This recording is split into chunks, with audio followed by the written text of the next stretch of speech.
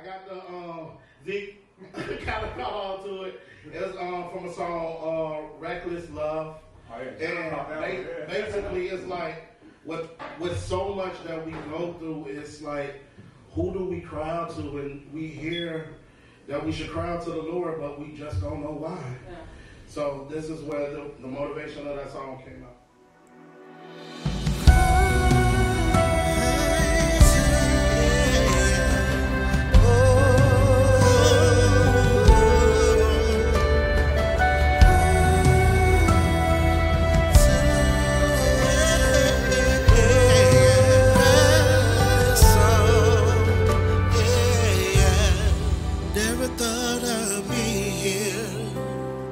To figure out what's going on.